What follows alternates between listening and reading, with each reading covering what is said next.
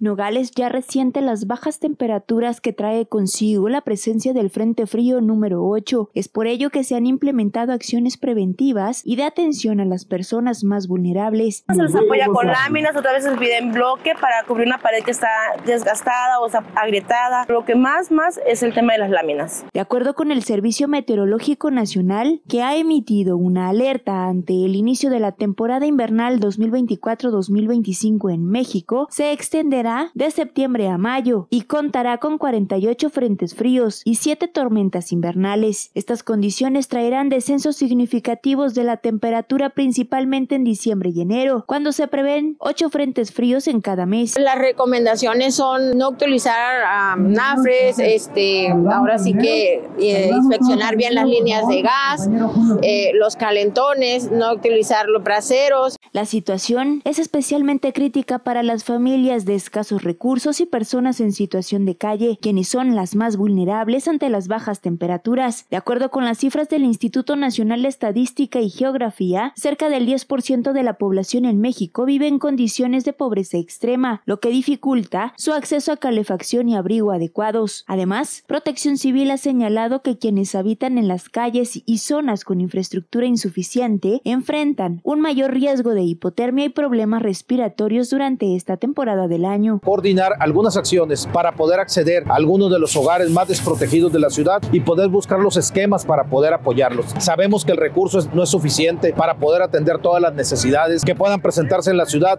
Para mitigar el impacto de las bajas temperaturas, diversas ciudades han implementado medidas en apoyo. En varias zonas del país se han dispuesto albergues temporales y operativos para trasladar a las personas en situación de calle hacia espacios protegidos. Los refugios locales también se están organizando para recibir a las familias vulnerables con el objetivo de brindarles resguardo y mantenerlos seguros frente a las condiciones extremas del invierno.